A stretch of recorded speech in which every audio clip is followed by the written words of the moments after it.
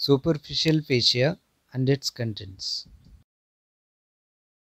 The superficial fascia has the fat cells, the connective tissues, including collagen and elastic fibers, cutaneous nerves and vessels, the vein,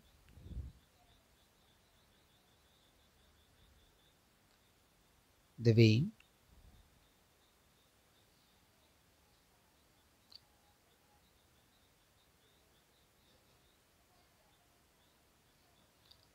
the artery,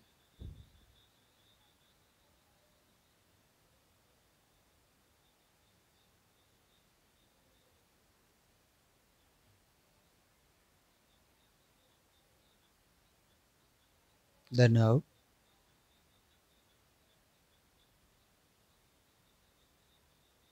the lymphatics.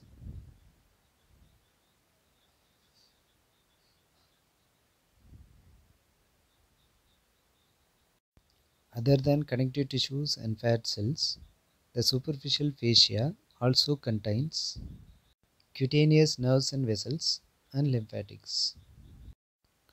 The vein, the artery, the nerve, the lymphatics. The vein, the artery, the nerve,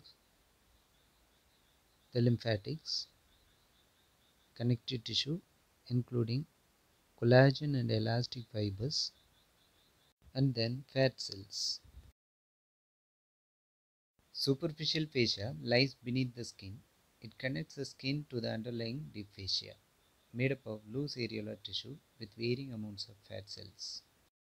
Contents of superficial fascia cutaneous nerves, cutaneous vessels, subcutaneous muscles in the face, neck, and scrotum, mammary gland, deeply situated sweat glands, localized group of superficial lymph nodes and lymphatics, fat cells, connective tissues. Functions of superficial fascia facilitates movements of the skin. It serves as a soft medium for the passage of the vessels and nerves to the skin. It conserves body heat because fat is a bad conductor of the heat.